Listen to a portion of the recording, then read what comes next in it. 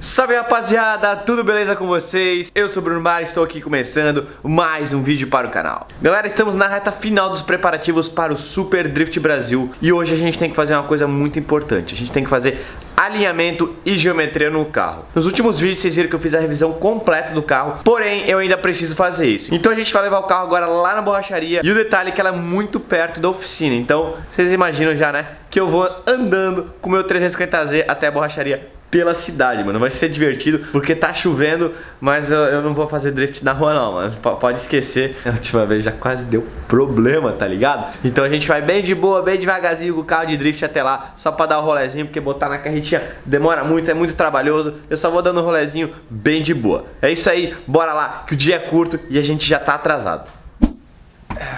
Estamos aqui na oficina, rapaziada.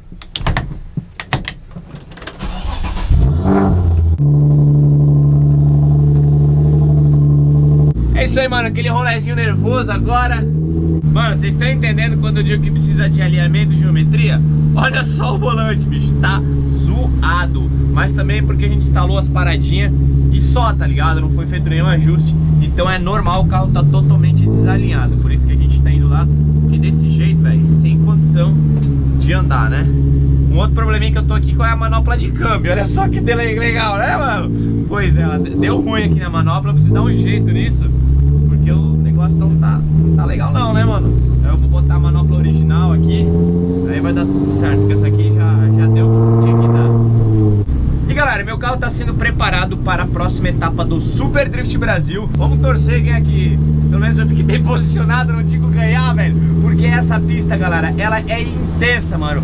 O negócio lá é, é de outro mundo. É uma montanha, só que a gente não vai subir a montanha, a gente vai descer ela, tá ligado? Tipo, é muito louco, é a pista mais desafiadora, sem dúvida, do Brasil. E eu também queria aproveitar, pessoal, para fazer dois convites para vocês. Muita gente sempre me pede se vai ter etapa do campeonato aqui na minha região, né, aqui em Santa Catarina. E tinha previsto uma etapa do Super Drift Brasil, mas ela foi alterada justamente para Belo Horizonte. Porém, vão haver dois eventos muito top que eu quero convidar vocês. São eventos que eu estou encabeçando, estou organizando e vão ser muito divertidos. O primeiro é o Drift Night SC, que é um evento que vai acontecer dia 2 de novembro, sexta-feira à noite. Vai ser um evento noturno, vai ser muito bacana, galera. E dia 9 de dezembro vai rolar um mega evento, pessoal. Vai ser o Drift Sudamérica, mano, Festival. Vai ser um evento muito top, já tem mais de 30 carros confirmados e vai acontecer em um domingo. Esse vai ser um evento muito grande, muito top ter vários pilotos e vale muito a pena. Vocês não tem desculpa pra não ir, tá ligado? Vocês têm que ir nesse evento, mesmo que vocês são de longe, Paraná. Mano, vem pra cá porque o evento vai ser top, eu garanto. Tá ligado que a gente chegou tão cedo que o bagulho tá até fechado, né? É, mano, o negócio aqui é pontual, rapaziada. Vamos esperar aqui, né, a galera abrir, mano. Galera, o carro já tá pronto, mano. A gente vai botar na carretinha porque eu vou levar no Speedway agora pra fazer alguns testes. A gente tem que testar se o acerto de suspensão ficou bom. A gente precisa testar se tá tudo certo com o carro, né? A gente fez uma revisão bem completa. E também eu preciso testar os pneus que a Pneu Store me disponibilizou, que eles são pneus diferentes da última vez. Como eles são distribuidores de pneu e não uma marca, eu tenho essa regalia de poder escolher qual pneu que eu quero usar. Então no último evento que eu fui em registro, eu não gostei muito do pneu e eu pedi pra trocar. Então eles me mandaram uma nova marca, na mesma medida, só que uma marca diferente, uma fabricante diferente. Então eu preciso testar, porque ir pro evento sem nunca ter andado com esse pneu é complicado. Então é isso, bora botar na carretinha e partir o Speedway. Chegamos aqui já no Speedway, tô tirando agora o carro da carretinha. E uma pena, galera, que já tá escurecendo. Não sei se vocês repararam o horário, mas tipo 7h50 eu tava lá já na oficina. Então tipo, eu acordei bem cedo, mano, e normalmente eu fico editando até tarde. Então tipo, essa noite quase não dormi. E eu tô muito cansado. Então eu vou baixar o carro aqui e amanhã eu vou voltar pra gente gravar. Bom dia, rapaziada, mais um dia aí na correria pra deixar tudo pronto pro SDB, mano. E agora o carrinho tá aqui já na pista, daqui a pouco a gente vai entrar. Mas antes disso eu preciso dar uma limpada no carro, mano Porque o meu 350Z tá muito sujo, vocês não têm ideia. Eu trouxe um aspirador de pó pra dar uma geral. Na última etapa tinha muito mato, mano, muito capim. Se liga, velho, tá, tá nojento o carro. Então vamos passar um aspiradorzinho de pó pra ficar pelo menos decente aqui, né?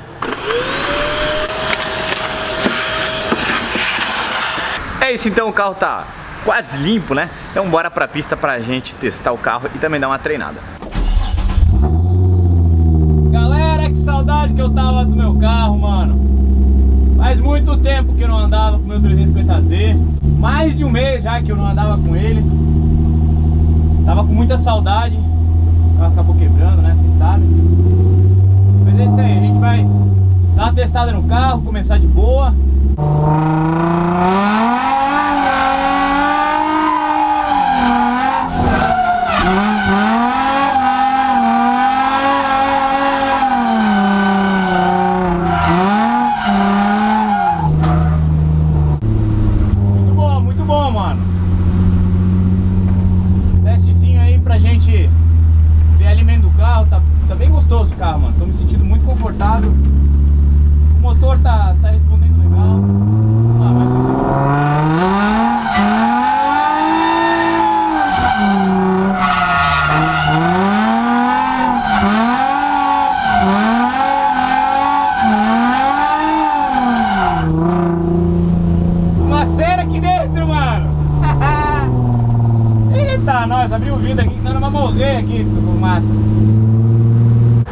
Apesar de ter um desenho estranho, mano, ele aguentou bem, velho. Apesar das poucas voltas que a gente deu, já seria suficiente para um pneu, se fosse ruim, ele começar a descascar, sabe? Então já dá pra ver que esse pneu é bom. Ele teve um grip legal, não é um pneu que gripa muito, mas também não é um pneu extremamente liso. Ou seja, pro meu carro, que não tem muita força, é ideal. E outra coisa é que ele fez muita fumaça, mano. Eu dei, tipo, só uma curvinha já de segunda marcha, saindo muita fumaça, mano. Eu acho que esse pneu vai fazer muito sucesso lá no Mega Space.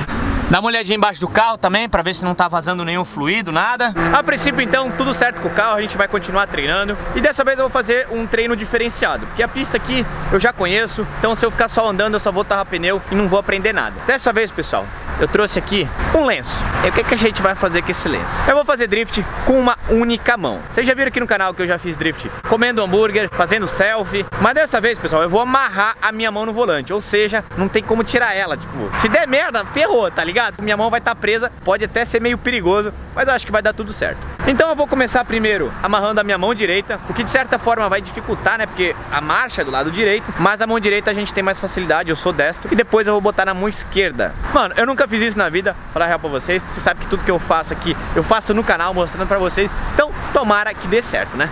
Galera, eu nem sei como é que faz isso aqui. Eu vi na internet uma vez.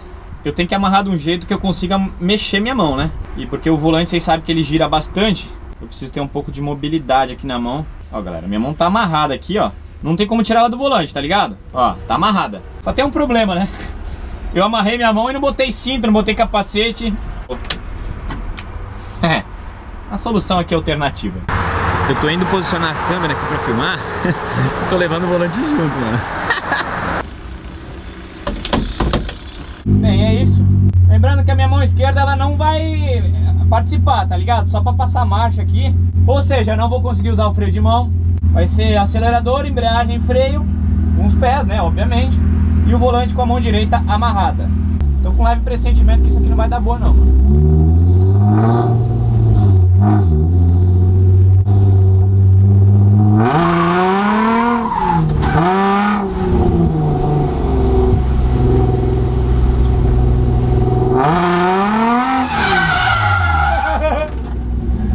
É difícil, pesada!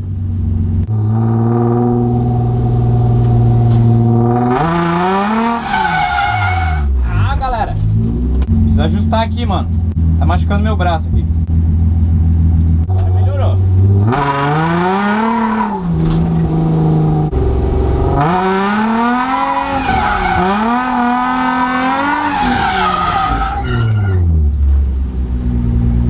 Não vou conseguir fazer isso não, mano. É muito rápido, galera. É muito rápido.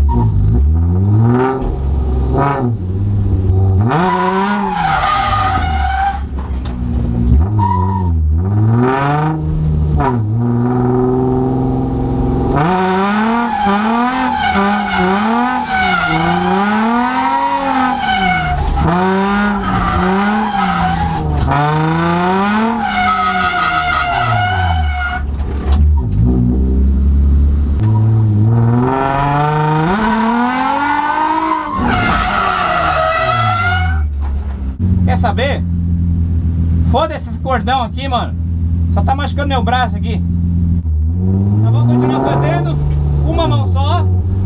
A outra vai ficar aqui, ó. Mais solta, mano. Porque esse negócio de amarrar a mão aqui não tá com nada, velho.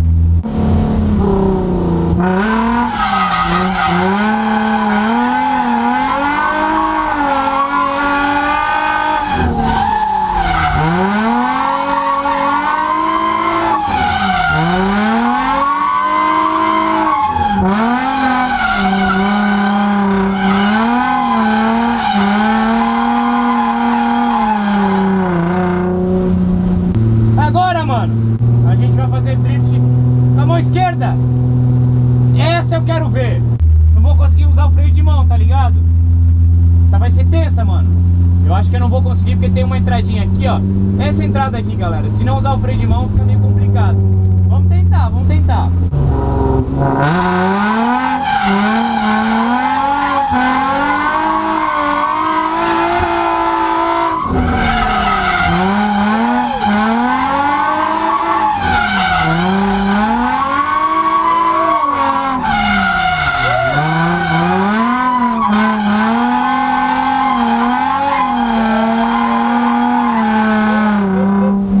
Mano, deu boa, galera. Deu boa. Caraca, moleque. É, é muito bom esse treino, porque muitas vezes o freio de mão acaba viciando o piloto.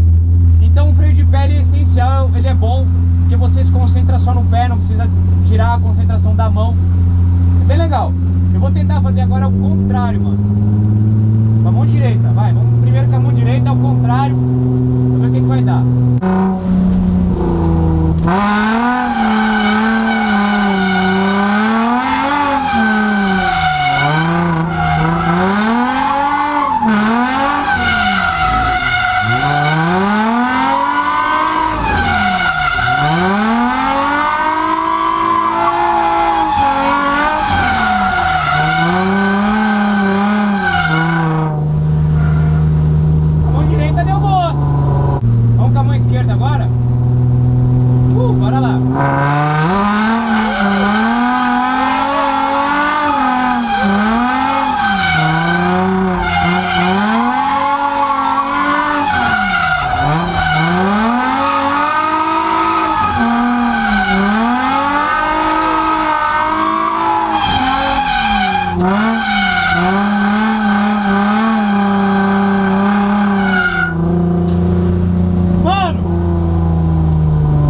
melhor com a mão esquerda do que com a mão direita. Dá pra entender? Galera, eu tô me sentindo muito confiante com o carro. O carro tá muito na mão. Fazia tempo que eu não sentia meu carro assim na minha mão. É, mano, tá top, galera. Tá top, rapaziada.